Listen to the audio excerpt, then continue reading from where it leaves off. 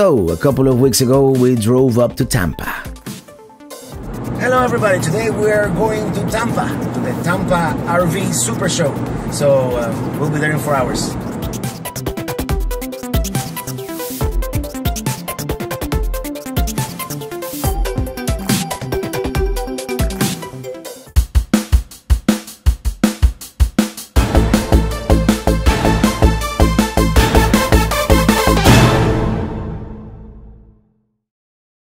Have arrived at the Florida RV Super Show, which is taking place right here at the Florida State Fairgrounds in Tampa. Let me give you a little bit of a background on this.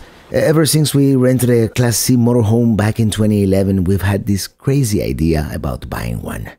Actually, we thought about it even earlier when we drove on the Dalton Highway in Alaska and saw lots of RVs and thought it would be nice to make that trip in our own home on wheels. Back to the present, we are here in Tampa, and although we have a pretty good idea of what we want, let's browse around on the way to where our preferred unit sits. At the entrance, they have the Airstreams, which have these iconic aluminum frames.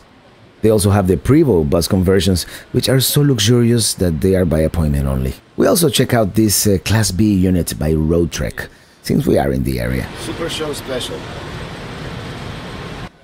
They are very maneuverable and great for a weekend escapade. And it has almost everything a real RV has, but it feels kind of claustrophobic and uh, no storage.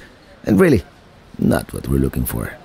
This is the perfect time because as you can see, there's uh, very few people in the show. And we can see everything more calmly. What we want is something in which we can full time, which in RV lingo means living in the units all the time and we want something short enough for good maneuverability and to be able to stay in many national parks, so we're going to have to compromise somewhere. And the best compromise we've found so far is this the Itasca Sunstar 27N. Even the name sounds nice. Let's climb inside of what I believe will be our next home. Ever since we saw this floor plan online, we fell in love with it, so we're already kind of biased. It has a computer workstation on the passenger side, we like the dinette with storage underneath.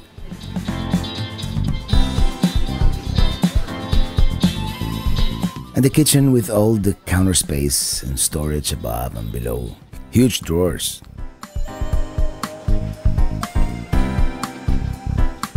It has a standard gas and electric fridge.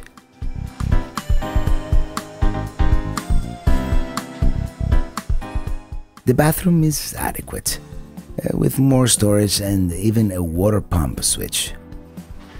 Hi, well, I'm here getting uh, used to the facilities. And as you can see, if you come this way, I can fit in the shower, which is awesome. Bye. Moving along to the bedroom, we like all the drawers underneath.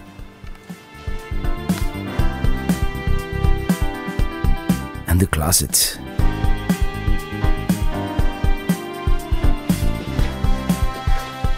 And more storage under the bed and the pantry and all the controls which are organized in one place.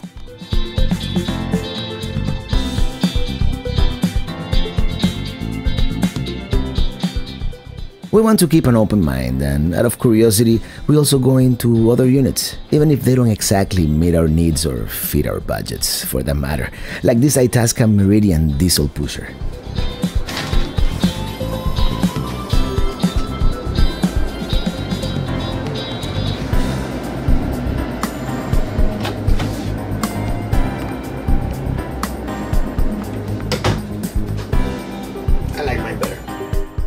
Another Meridian.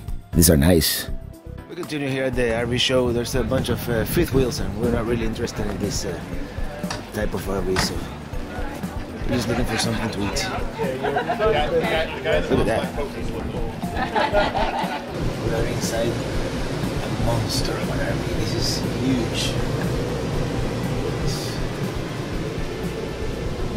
This uh, bunk beds here to the left. Bathroom.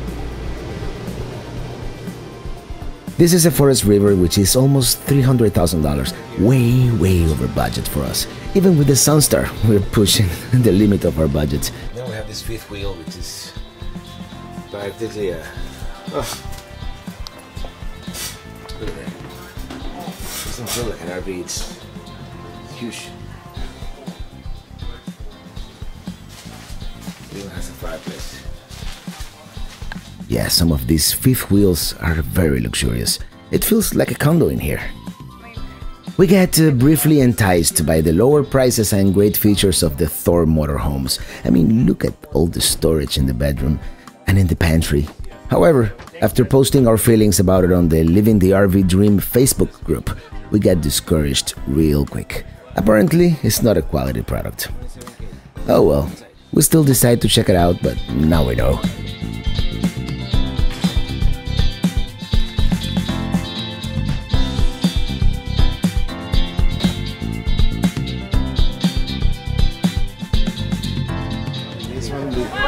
Storage back here. Itasca Sunova 38. Moving right along, we go back to the Itascas.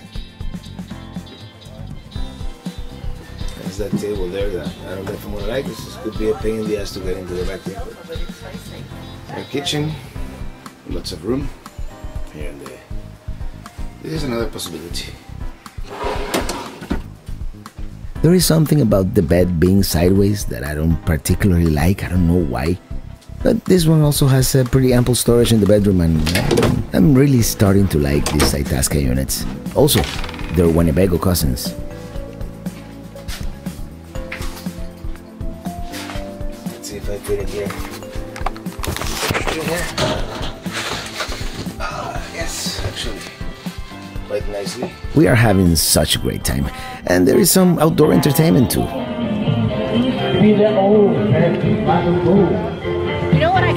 Find the music that my soul. I reminisce about the days old.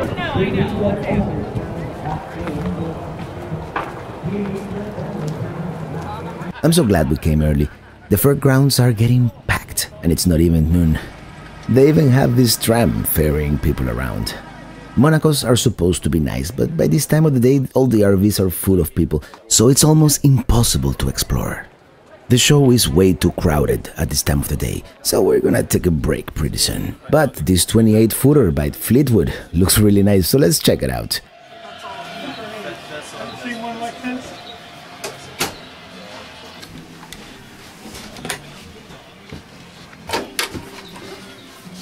Let's see if I fit.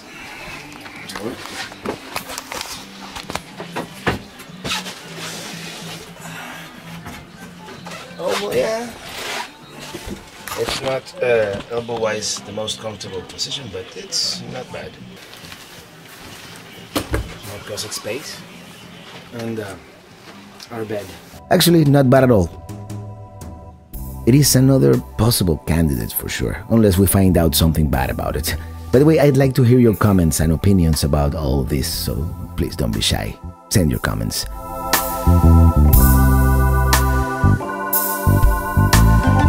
It has a pretty decent storage, I think, for a unit of its size. It is the Fleetwood Storm uh, 28F.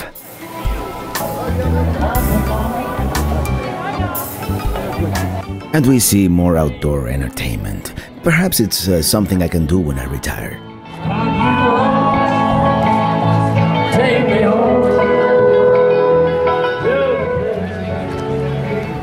Talking about retirement, they also have this uh, small area featuring vintage RVs.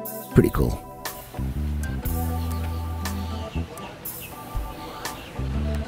Nineteen sixty-one Airstream.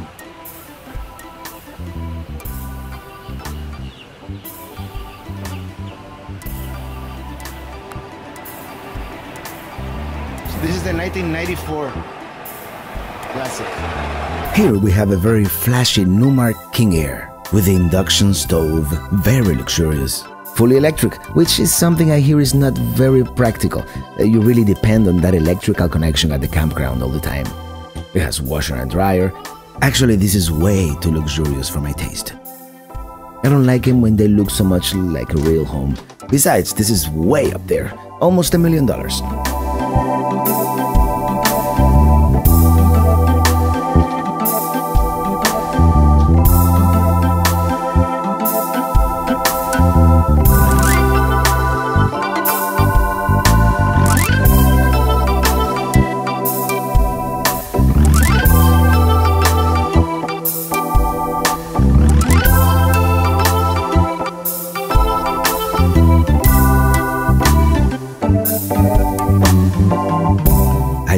The cockpit though.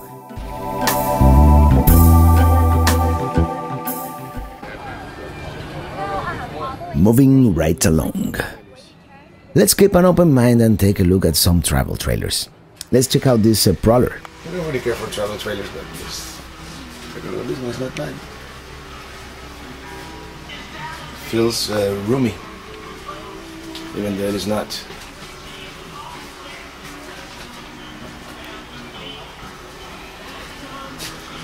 For thirty-nine fifty, not bad. Another travel trailer. It's pretty cool. I'll, I'll, I'll, I'll check out the name now. Bañito, little bathroom. I can't open this. There we go. Nice shower.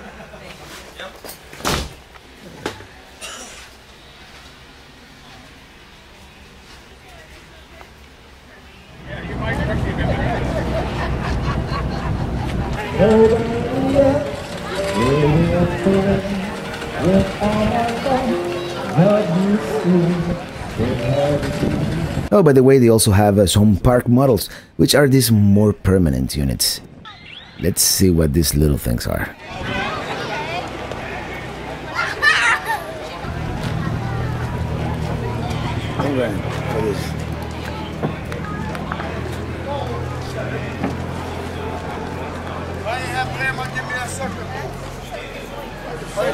We have a delicious Cuban sandwich, which, a little known fact, was invented here in Tampa.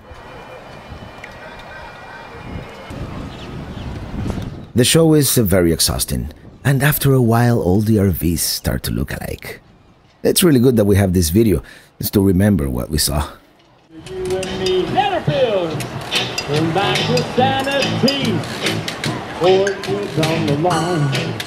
Last but not least, let's visit the vendors area. They have all kinds of cool stuff for your RV.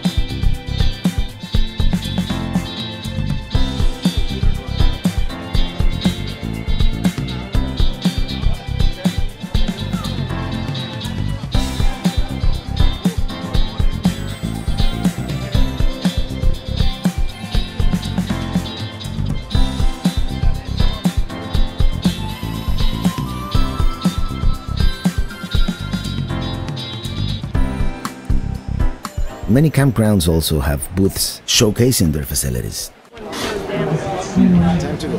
I'd think to what do we think? What do we think? What a wonderful world. Oh yeah, yeah, yeah, yeah.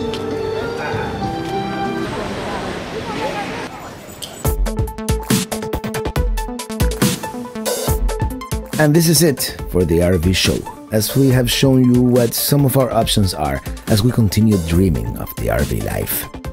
Sometime in the future, you'll see us cruising down the road in our Itasca Sunstar 27N or uh, something similar. This is the plan. That was actually the original idea for roadnomad.com to roam the roads of this great country of ours and hopefully other countries as well. Meanwhile, I hope you continue to enjoy my travel videos right here. We've got some great adventures coming up soon, so stay tuned and please do check out some of our past trips. We've got some great road trips uh, in the archives, such as our California road trip, Las Vegas and the Grand Canyon, Canada, and also Puerto Rico. Meanwhile, we are taking the scenic route back to Miami, where we still have our sticks and bricks home. I hope you have enjoyed our brief visit to the RV Super Show. We only scratched the surface here, but had we explored every possibility, this would have been feature film long, not to mention boring. Remember to subscribe to the channel so you don't miss out on any of our future videos. As always, thank you so much for watching and see you on the road. Ciao!